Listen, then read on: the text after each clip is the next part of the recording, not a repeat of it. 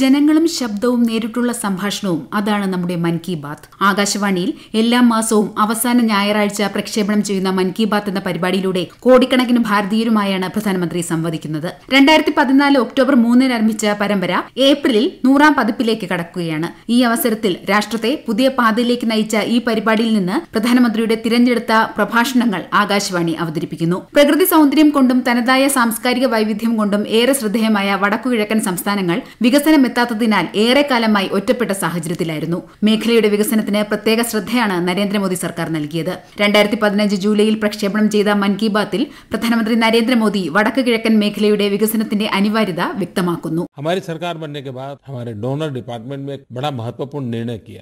भारत सरकार के अधिकारियों की टीम नॉर्थ ईस्ट के उन राज्यों में जाएगी नागालैंड हो मणिपुर हो अरुणाचल हो त्रिपुरा हो असम हो सिक्किम हो सात दिन वहाँ कैंप करेंगे वहाँ के स्थानीय सरकार के अधिकारियों से मिलेंगे जनप्रतिनिधियों से बातें करेंगे